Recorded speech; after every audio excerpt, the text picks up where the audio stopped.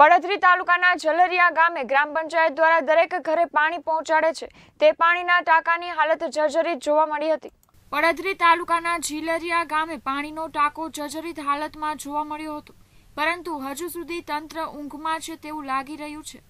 કારણ કે ટાંકાની બાજુમાં ગામનો રસ્તો નીકળે છે અને તે ક્યારે પડે તેનું કંઈ જ નક્કી નથી. તેમજ આ ટાંકો ક્યારે નાશ કરે તે હવે જોવાનું રહ્યું. તેમજ આ પાણીનો ટાંકો કોનું મોત લેશે તે તંત્ર રાહ જોઈ રહ્યું છે, તેવું લાગી રહ્યું છે. જેસી ગોહિલ, કેટીવી ન્યૂઝ પડદરી